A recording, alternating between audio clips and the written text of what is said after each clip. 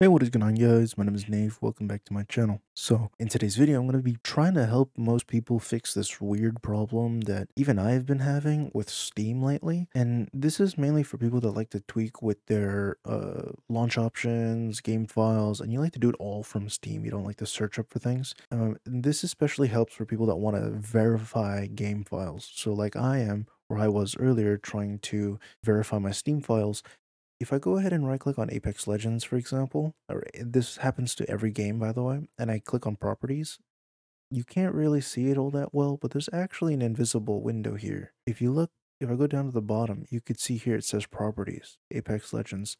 But when I click on it, it doesn't actually have anything.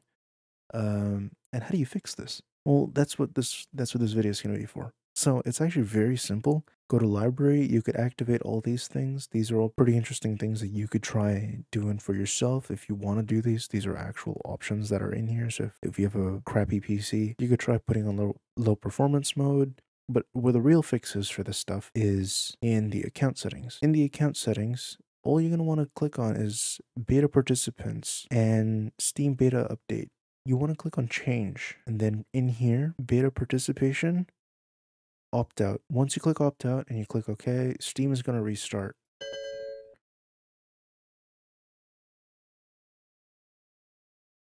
And so with that, Steam should have restarted. And then when you go to your library, you could click on your game, in my case, Apex Legends, right click, properties, and there you go. It's back up and you can see all of it. Uh, so I can finally verify my game files. But anyways, guys, uh, if this helps, please do leave a like, comment, and subscribe. I'll catch you guys in the next one. Peace out.